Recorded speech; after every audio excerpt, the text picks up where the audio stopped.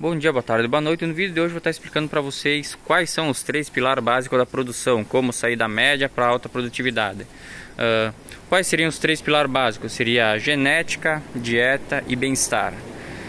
Ou manejo, no caso, bem-estar e manejo. Então eu vou estar explicando isso aí para vocês. Uh, vai ser agora mais um vídeo introdutório e na sequência eu vou postar mais dois ou três vídeos explicando esses outros três tópicos, provavelmente três, né?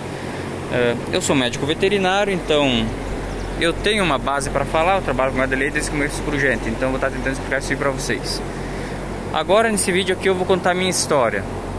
Uh, eu saí do, no pavilhão DK com média 17, 16, 17 para chegar nos seus 28, 30 litros agora.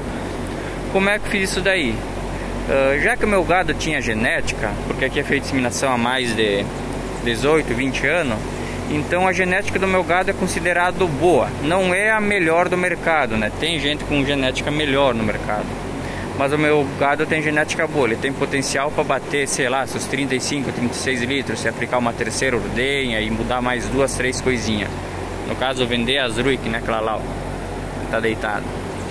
Então, para atingir esse máximo de produtividade, no caso para eu sair dos 16, 17 litros para chegar nos 20, o que, que eu fiz? Primeiro eu forneci uma dieta de qualidade. Fui feito, é feito análise, é dado oração pro gado e feito mais umas coisas também. Cuidado um pouco melhor da cerneira. E na questão de manejo, fui tirado do baro, tirado do problema de carapato e fui colocado no no freestyle, né? Pode ser freestyle, pode ser composto, também pode ser a pasto, né?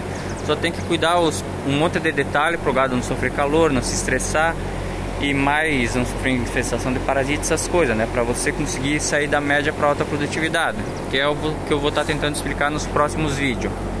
E acho que era isso o vídeo de hoje, uh, que é um vídeo mais de introdução. Então ali no primeiro comentário fixado embaixo tem uma playlist que vai estar tá saindo daqui uns dias. É, acho que era isso o vídeo de hoje. É que tá meu gato se lambendo, né rapaz? Esse aqui é o pretinho. Né, Mimi, rapaz? É quase um cachorro. Lá tá o negrinho. É, acho que era isso o vídeo de hoje. Tchau pra vocês. Até os próximos vídeos.